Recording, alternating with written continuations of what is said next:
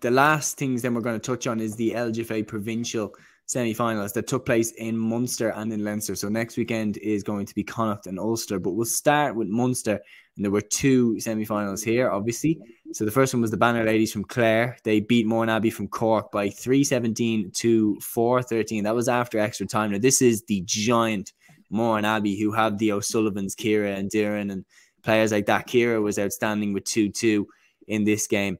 But I mean, we're going to touch on who was huge for the Banner ladies in this one. In the other side, Ballymacarby from Waterford, they beat Finuge St. Senans by 115 to seven points. So we'll start with this game really quickly.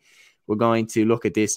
Niamh O'Dea was the difference in this game. She on her own hit three goals and six points. Grania Nolan also hit eight points.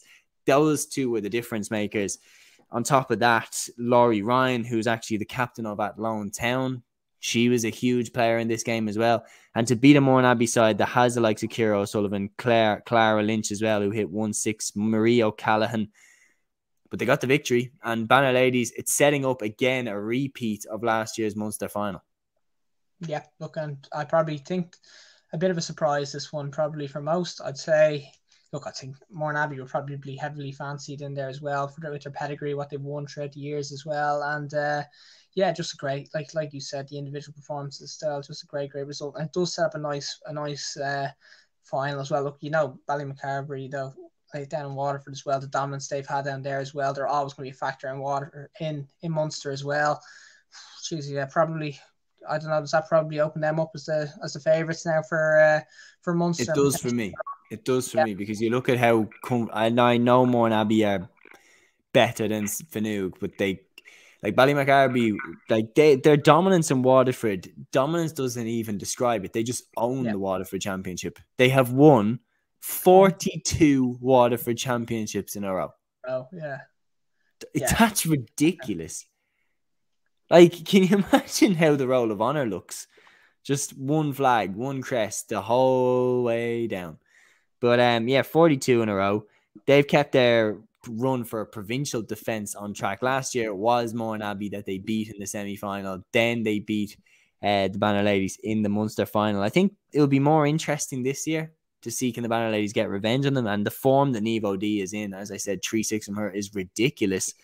But I probably still would lean towards Ballymacarby on this. Muireann Boyce hit the goal in that game. I will still lean to Ballymacarby for this because they will want to go further than they did last time. They want to turn that Waterford dominance into provincial dominance, into potentially All Ireland dominance.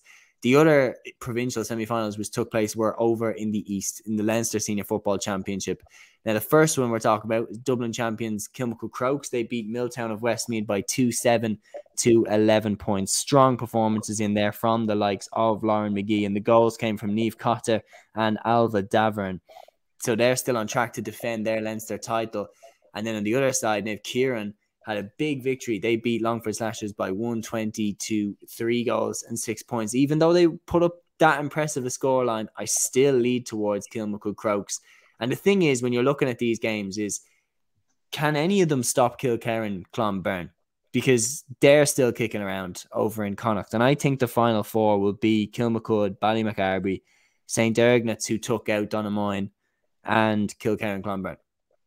Yeah, no, look, and look, and look, I think that is the way when you talk about Leinster in there as well.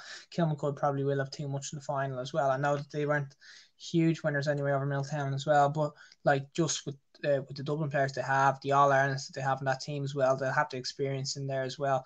You would imagine that look they, they should have enough to get over the line anyway and to get in to set up that uh that semi final you talk the semi final structure you talk about. But like yeah, no, I think uh a great scoring as well though. Uh on your side. But like, yeah, no, look, I do think that uh, I do think the Kilmacud are gonna uh, will probably come out on top there as well. And uh, yeah, no, look, it does. It Could we see a double double? I I don't think so. No, I don't think you so. You don't I think, think Kilmacud can beat Kilkerrin? Uh, I yeah, no, look, I well, I don't think they'll win the men's this year. I think I think really? I think yeah, I think they'll be I think they'll be a little bit short this year. I think that in particular I think that the injuries around midfield will probably come and get them. I know they, they were fine against Ballyboden in the men's, but like on the day when they, they won the Dublin Championship. But I do think if they came up against the Glen where they're having to play Conor Glass and Bradley in midfield as well, I think like missing Dias and Shovlin at the moment, I think they'd get absolutely uh, destroyed in midfield. So like at the moment, I think I think I think the women have a slightly better chance maybe of an All Ireland right now than the men, but like they both will be both will be right up there as well. I like I both think they have a great chance for All Ireland finals. Yeah, no, I absolutely agree with you. It has been another crazy weekend in the club championships across the board, left, right, and centre. Some shocks, some headlines, some great games, and some bad games. And we've covered them all here on on An Cluiche. So thank you very much for joining us for the 55 minutes. Until the next one, guys. Torara.